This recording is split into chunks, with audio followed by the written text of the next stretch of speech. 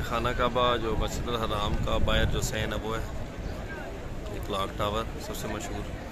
ये आपको मक्का में, इसकी सराउंडिंग में जो भी आपके होटल्स हैं, उनसे आपको अप्रोच के लिए सबसे आसान है मक्का टावर को फॉलो करते हुए क्लाक टावर को फॉलो करते हुए। ये इसका सैन है। लोग नमाज़ पढ़ के बाहर निकल रहे हैं, कुछ लोग आ रहे हैं। ये मस्जिद हराम। इसके पीछे हरम काबा